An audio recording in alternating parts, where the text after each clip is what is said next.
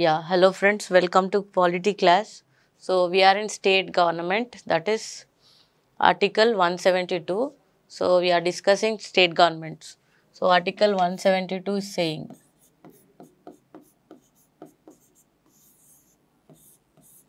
yes. So Article 172 is regarding the duration of state legislative assembly. Duration of state legislative assembly. So assembly ఉంటుంది కదా assembly duration గురించి చెప్పేది article one seventy two. So assembly duration ఎంత అంటే normal. So normal it is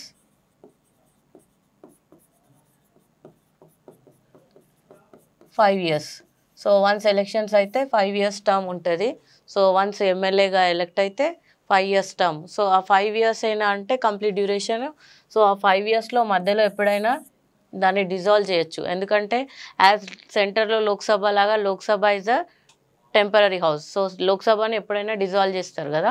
so అట్లనే అసెంబ్లీని కూడా dissolve చేసే అధికారం ఎవరికి ఉంటుంది అంటే గవర్నర్కి ఉంటుంది. సో గవర్నర్ కెన్ డిజాల్వ్ అంటే రద్దు చేసే అధికారం. State legislative assembly in between this five years so ఈ ఫైవ్ ఇయర్స్లో ఎప్పుడైనా గవర్నర్కి అసెంబ్లీని రద్దు చేసే అధికారం ఉంటుంది.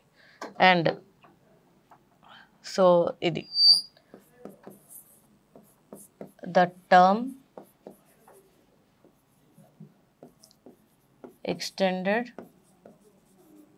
to six years. Through 42nd Constitutional Amendment Act 1976. యాక్చువల్గా ఈ ఫైవ్ ఇయర్స్ టర్మ్ని సిక్స్ ఇయర్స్ చేశారనమాట so forty second consti first forty second constitutional amendment act nineteen seventy సిక్స్తో ఈ ఫైవ్ ఇయర్స్ టర్మ్ని సిక్స్ ఇయర్స్ చేయడం జరిగింది లెజిస్లేటివ్ అసెంబ్లీది బట్ మళ్ళీ forty fourth constitutional amendment act nineteen seventy eight ప్రకారం మళ్ళీ ఈ సిక్స్ ఇయర్స్ని మళ్ళీ ఫైవ్ ఇయర్స్కి చేయడం జరిగింది. Six years again change to five years so ఇప్పుడు నార్మల్ టర్మే యాక్చువల్గా ఒకసారి ఏం చేశారు? ఫార్టీ సెకండ్ కాన్స్టిట్యూషన్ అమెండ్మెంట్ తోటి ఈ ఫైవ్ ఇయర్స్ టర్మ్ ఏదైతే ఉందో దాన్ని సిక్స్ ఇయర్స్కి చేంజ్ చేశారు. మళ్ళీ ఒక టూ ఇయర్స్ తర్వాత forty fourth constitutional amendment act nineteen seventy eight తోటి మళ్ళీ six ఇయర్స్ని change into five years so ఇప్పుడు నార్మల్గా అయితే ఫైవ్ ఇయర్స్ ఆ ఫైవ్ ఇయర్స్లో మధ్యలో ఎప్పుడైనా డిజాల్వ్ చేసే అధికారం ఎవరికి ఉంటారంటే గవర్నర్కి ఇది ఇంపార్టెంట్ సో ఈ బిట్లో వచ్చే క్వశ్చన్స్ ఏంటంటే who is having the power to dissolve the assembly same అక్కడ లోక్సభని డిజాల్వ్ చేసే అధికారం ఎవరికి ఉంటుంది? ప్రెసిడెంట్కి అట్లా ఇక్కడ గవర్నర్కి డిజాల్వ్ చేసే అధికారం ఉంటుంది. Yes so this is term so in national emergency ఒకవేళ ఈ టర్మ్ని in national emergency period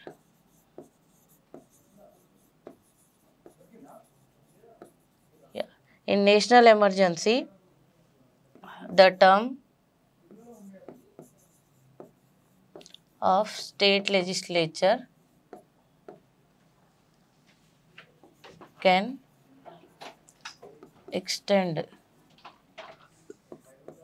One year at a time or any length of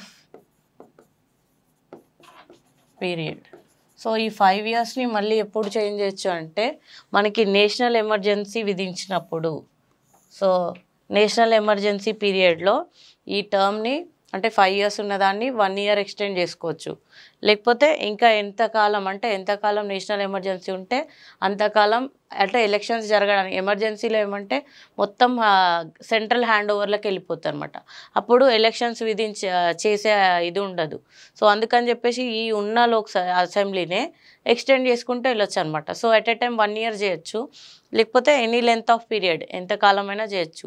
so అట్లా ఎప్పుడు ఒక నేషనల్ ఎమర్జెన్సీ మనకి నైన్టీన్ సెవెంటీ వన్లో అయింది కదా. సో అప్పుడు అసెంబ్లీని ఎక్స్టెండ్ చేసే చేశారనమాట so this is article one seventy two. So ఇది duration of what? Duration of state legislative assembly. So ఈ అధికారం ఎవరికి ఉంటుందంటే ఎక్స్టెండ్ చేసేది బై పార్లమెంట్. సో పార్లమెంట్లో చట్టం చేస్తారు. ఎందుకంటే నేషనల్ ఎమర్జెన్సీ అంటే మొత్తం సెంట్రల్ గవర్నమెంట్ హ్యాండ్ ఓవర్లోకి వెళ్ళిపోతుంది అనమాట సో సెంట్రల్ గవర్నమెంట్ నుంచి చట్టం చేసి దీన్ని ఎక్స్టెండ్ చేసే అధికారం ఉంటుంది. ఇది లెజిస్లేటివ్ అసెంబ్లీ గురించి.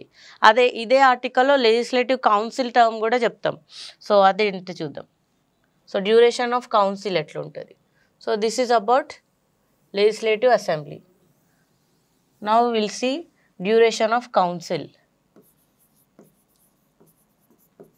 Duration of legislative council. So ఇది permanent house as Rajya Sabha. So this cannot be dissolved by governor or anybody. So ఇది డిజాల్వ్ చేయడానికి వీల్లేదు. So legislative council is equal to Rajya Sabha in the centre. So ఇది గుర్తుపెట్టుకోవాలి. So రాజ్యసభకి applicable అయ్యే అన్నీ ఇక్కడ applicable అవుతాయి. So assembly వచ్చేసి replica of Lok Sabha. So council వచ్చేసి రిప్లిక్ ఆఫ్ రాజ్యసభ. సో అక్కడ చైర్మన్ డిప్యూటీ చైర్మన్ ఇక్కడ కూడా chairman deputy chairman. So duration వచ్చేసి సేమ్. అక్కడ సిక్స్ ఇయర్స్ ఇక్కడ కూడా six years it is a permanent house. It cannot be dissolved.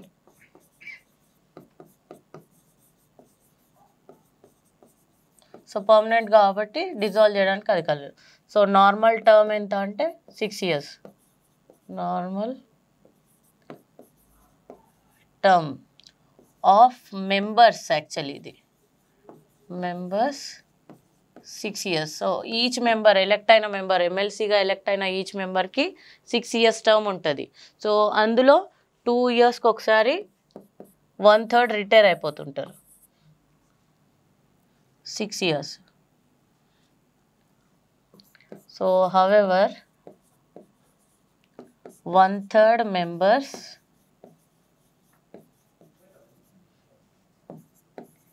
retire every two years so two ఇయర్స్కి ఒకసారి one third members ఉన్న స్ట్రెంత్లో వన్ థర్డ్ మెంబర్స్ రిటైర్ అవుతుంటారు. అంతేగాని మొత్తం క్లోజ్ అవ్వడం ఉండదు.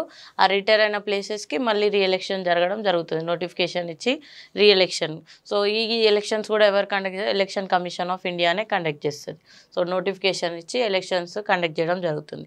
సో ఇవి మళ్ళీ రాజ్యసభ కదా indirect election not direct so అదే అసెంబ్లీ అయితే డైరెక్ట్ ఎలక్షన్స్ ఉంటాయి జనరల్ ఎలక్షన్స్ సో రాజ్యసభ కాబట్టి ఇండైరెక్ట్ ఎలక్షన్ ద్వారా ఓటింగ్ జరుగుతుంది. వీళ్ళని ఎలక్ట్ చేయడం జరుగుతుంది.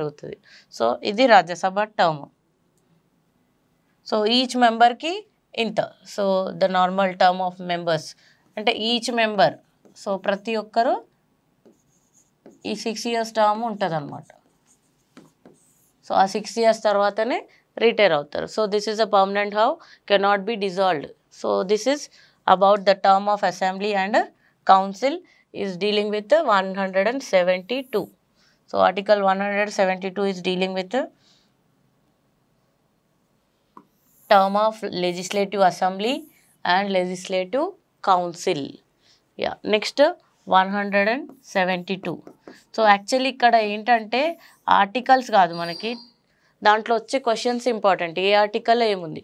సో ఇక్కడ చూసుకుంటే ఈ ఈ పర్టికులర్ టాపిక్ తీసుకుంటే మనం మొన్న కూడా రీసెంట్గా వచ్చిన ఎగ్జామ్స్లో చూసుకున్నాం కదా టర్మ్స్ ఎట్లా అడుగుతున్న? కాన్సెప్ట్ బేస్డ్ దాని నుంచి క్వశ్చన్స్ ఫ్రేమ్ చేయగలిగా. ఇప్పుడు నేను ఈ ఈ ఒక్క ఆర్టికల్ చదివినా కదా సో దాని నుంచి నాకు ఏ క్వశ్చన్స్ వస్తాయి?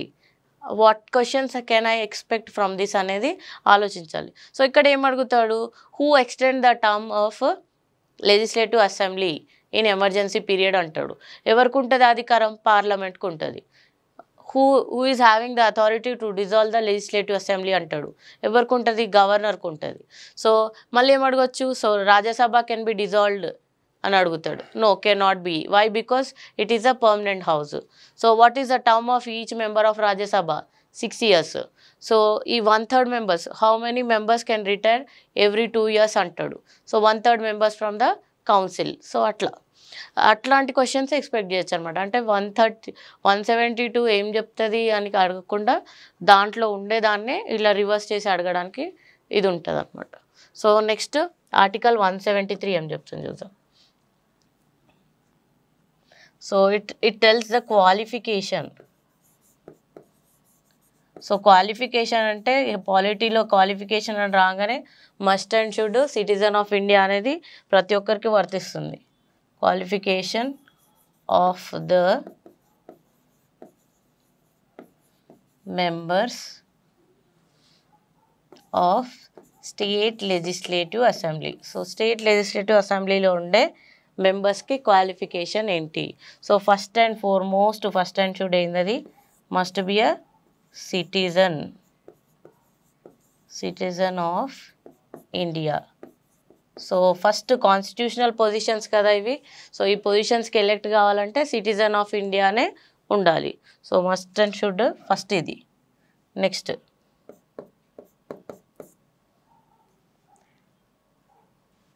so minimum age in case of minimum age in state legislative అసెంబ్లీకి ఎలెక్ట్ కావాలంటే మినిమం ఏజ్ వచ్చేసి ట్వంటీ ఫైవ్ ఇయర్స్. సో అదే స్లేట్ లెజిస్లేటివ్ కౌన్సిల్ అయితే థర్టీ ఇయర్స్. సో ఇది minimum age. So minimum age mention చేసినామంటే no maximum age. So మనకి minimax rule తెలుసు కదా? So minimax. So according to minimax rule so if they mention minimum age there is no maximum age so if they mention maximum age there is no minimum age అంటే ఇక్కడ minimum age మాత్రమే చూస్తారు. No maximum age చూస్తాం కదా మనం అసెంబ్లీలో కానీ కౌన్సిల్లో కానీ so seventy years eighty years ఉన్న వాళ్ళు అందరూ ఉంటారు కదా. సో అంటే maximum age limit hundred years కూడా ఉన్నా కూడా ఒకవేళ వాళ్ళు ఎలక్ట్ అయితే కావచ్చు అనమాట so minimum age of legislative అసెంబ్లీకి కావాలంటే ట్వంటీ ఫైవ్ ఇయర్స్ ఉండాలి. కౌన్సిల్కి ఎలక్ట్ కావాలంటే థర్టీ ఇయర్స్ ఉంటే సరిపోతుంది. So this is age limit next no age of maximum limit ఇంకొక third point board and most no office of profit no office of profit so office of profit ఉండొద్దు అనమాట అంటే వేరే అంటే ఆదాయం వచ్చే పొజిషన్స్లో ఉండొద్దు. అంటే గవర్నమెంట్ నుంచి ఏ రకమైన ఆదాయాన్ని పొందడానికి వీల్లేదు. ఎలక్ట్ కావాలంటే ఇది ఒక rule so office of profit citizenship. ఇవి ప్రతి దానికి ఉంటుంది అనమాట these are the qualification citizenship and minimum age of legislative assembly and council and office of profit so one seventy three deals with the qualification of members of state legislative assembly and also council also so council గురించి కూడా ఇక్కడే చెప్పుకుంటాం.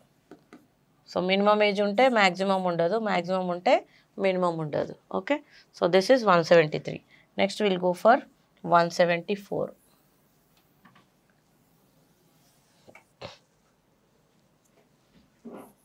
yes. Article 174 yes. So article 174 is deals with the the legislative process.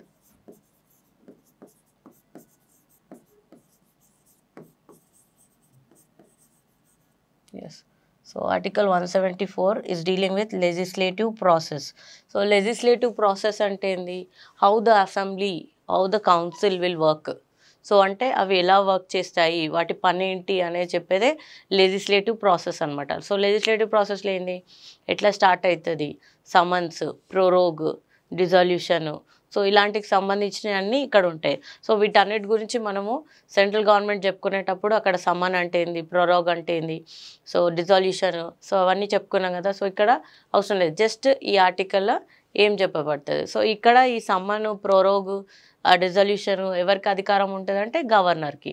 So అదే central గవర్నమెంట్లో అయితే president can do this. So ఇక్కడ legislative process. So ఏంటర్ legislative process అంటే summon the house.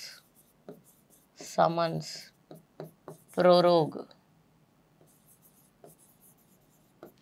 dissolution. So dissolution కూడా only అసెంబ్లీనే not the council so dissolution so the governor is empower to do this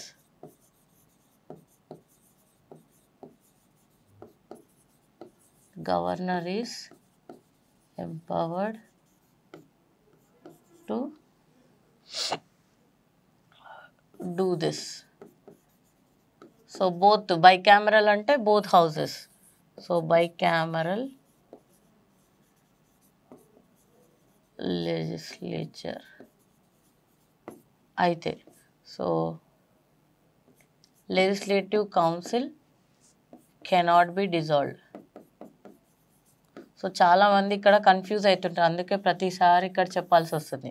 so council అనేది permanent Rajya Sabha అనేది permanent cannot be dissolve so ఇది బాగా గుర్తుపెట్టుకోవాలి. దీని మీద చాలాసార్లు క్వశ్చన్స్ కూడా వచ్చినాయి అనమాట సో అదే ఏమనుకుంటుంటే అసెంబ్లీ మొత్తం రద్దు చేస్తున్నాం. లెజిస్లేటివ్ని మొత్తం రద్దు చేస్తున్నామా కాదు. ఓన్లీ అసెంబ్లీని కౌన్సిల్ని కాదు. సో లెజిస్లేచర్ ఏమంటారు? శాసనసభ అండ్ శాసన మండలి. సో అది. సో మండలి అనేది పర్మనెంట్ అనమాట సో తెలుగులో అయితే. Yes so these are the legislative process so governor is empower to do this process okay so bicameral అంటే లెజిస్లేటివ్ అసెంబ్లీ లెజిస్లేటివ్ కౌన్సిల్ అక్కడైతే so assembly is equal to Lok Sabha so council is equal to Rajya Sabha. So ఇది గుర్తుపెట్టుకుంటే so central central government చదివేటప్పుడే వీటిని గుర్తు చేసుకోవాలన్నమాట. So assembly రాజ్యసభలో ఎలా ఉంది? కౌన్సిల్లో ఎట్లా ఉంటుంది?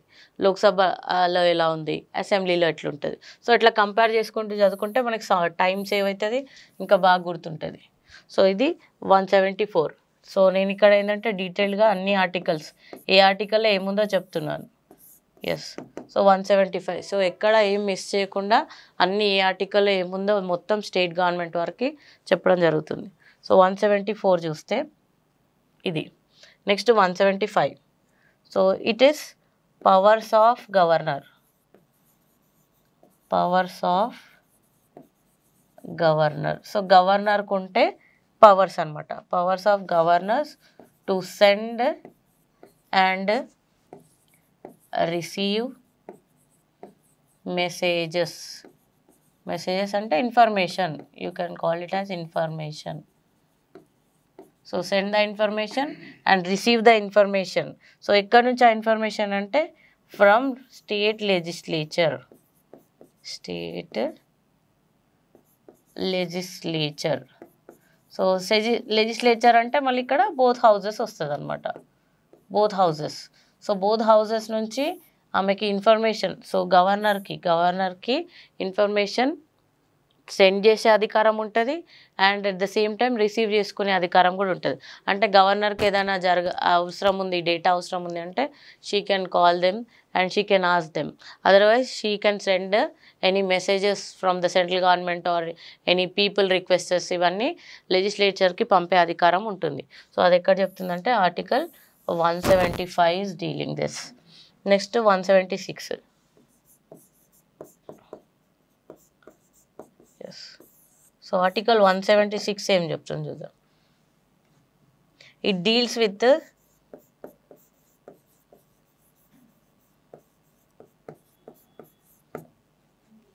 special address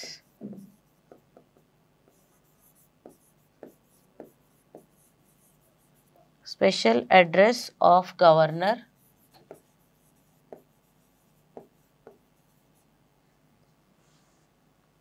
In both houses so both హౌజెస్ని అంటే ఉభయ సభలను ఉద్దేశించి గవర్నర్ యొక్క ప్రసంగం. ఎస్ సో ఎప్పుడెప్పుడు ఉభయ సభ్యులను ఉద్దేశించి గవర్నర్ ప్రసంగం ఉంటుంది. సో ఇప్పుడు మొన్న ఎగ్జామ్లో అయితే కాంప్లికేటెడ్ ఇవ్వలేదు కాకపోతే కాంప్లికేట్ చేయాలనుకుంటే పేపర్ని ఏం చేస్తాడంటే ఇట్లాంటి ఒక క్వశ్చన్ ఇచ్చేసి only one is correct. Only two is correct. One and two correct. Neither so neither one nor two. ఇట్లాంటి ఇస్తాడు నన్ ఆఫ్ ది అబో ఇట్లాంటి ఇస్తాడు అనమాట సో ఇది కాంప్లికేట్ వచ్చిన పేపర్లో ఇలాంటి ఉంటుంది. సో ఇక్కడ ఇది important article one seventy six is very important so governor అక్కడ మనం చూసుకున్నాం కదా సెంట్రల్ గవర్నమెంట్ చెప్పేటప్పుడు ప్రెసిడెంట్ ఉభయ సభలను ఉద్దేశించి ఎప్పుడు ప్రసంగించ ఇస్తారు ఎప్పుడెప్పుడు అంటే అది టూ టైమ్స్ ఉంటుంది. సో సేమ్ ఇక్కడ కూడా గవర్నరు ఒక రెండు సందర్భాల్లో ఉభయ సభలను ఉద్దేశించి ప్రసంగించడం జరుగుతుంది. సో ఉభయ సభలు అంటే ఏంటి? ఇక్కడ అసెంబ్లీ అండ్ కౌన్సిల్ స్టేట్ గవర్నమెంట్లో. అక్కడైతే లోక్సభ అండ్ రాజ్యసభ. సో ఎప్పుడెప్పుడు అనేది చాలా ఇంపార్టెంట్. సో ఫస్ట్ వచ్చేసి the first session.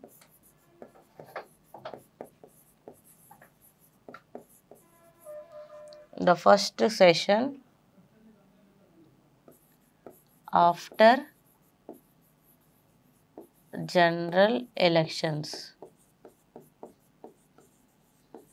So the first session after general election general elections to state legislative assembly. అసెంబ్లీకే కదా ఎలక్షన్స్ జరిగేది ఫైవ్ ఇయర్స్ టర్మ్ తర్వాత.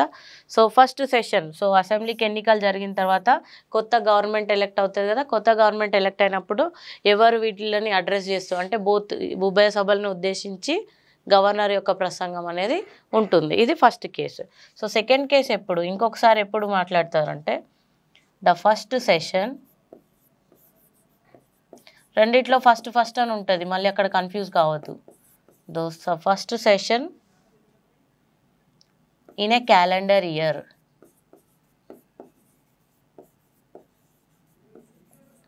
అంటే క్యాలెండర్ ఇయర్లో ఫస్ట్ సెషన్ కూడా గవర్నర్ ప్రసంగం ఉంటుంది అనమాట సో రీసెంట్గా మన స్టేట్ గవర్నమెంట్లో దీని మీద వివాదం కూడా నెలకొంది. అంటే గవర్నర్ ప్రసంగం లేకుండానే సభలను స్టార్ట్ చేశారు అసెంబ్లీ సెషన్ స్టార్ట్ చేశారు అని చెప్పేసి. సో గవర్నర్ ఎప్పుడెప్పుడు మాట్లాడాలి ఉభయ సభలను ఉద్దేశించి అంటే ఈ రెండు కేసెస్లో. ఒకటి వచ్చేసి first section session after the general elections to the legislative assembly and the first session in the calendar year. Calendar year అంటే ఇప్పుడు ఇయర్ ట్వంటీ ట్వంటీ టూ కదా. సో ట్వంటీ ట్వంటీ త్రీ వస్తుంది కదా. సో ఆ ట్వంటీ ట్వంటీ త్రీలో first session ఎప్పుడు జరిగితే అప్పుడు. ఐదర్ జనవరిలో కానీ ఫిబ్రవరిలో కానీ మోస్ట్ ప్రాబబ్లీ ఫిబ్రవరిలో ఉంటుంది. ఇది బడ్జెట్ సెషన్స్ ఉంటాయి కదా. సో ఫిబ్రవరిలో మనకి ఫైనాన్షియల్ ఇయర్ అయిపోతుంది. So budget session March thirty first. So budget session ఉంటుంది కదా so bud most probably budget session ముందు మనకి గవర్నర్ యొక్క ప్రసంగం అక్కడైతే రాష్ట్రపతి ప్రెసిడెంట్ యొక్క ప్రసంగం అనేది ఉండడం జరుగుతుంది. సో ఈ ఆర్టికల్ వన్ సెవెంటీ సిక్స్ అనేది ఇంపార్టెంట్. సో ఆర్టికలే కాకు ఆర్టికల్ అని కాకుండా ఎప్పుడెప్పుడు గవర్నరు ఉభయ సభలను ఉద్దేశించి మాట్లాడుతుంది అనేది చాలా ఇంపార్టెంట్. సో ఇది చాలాసార్లు క్వశ్చన్ కూడా అడగడం జరిగింది. So this is end with one seventy six next one seventy seven so ఇంట్లో ఆర్టికల్స్ చెప్పుకునేటప్పుడు కొన్ని కొన్ని ఇంపార్టెంట్ ఉంటాయి. దాంట్లో మీద కొంచెం ఎక్కువ శ్రద్ధ పెట్టాలి. మిగతాయి చూసుకుంటే సరిపోతుంది. Yes one seventy seven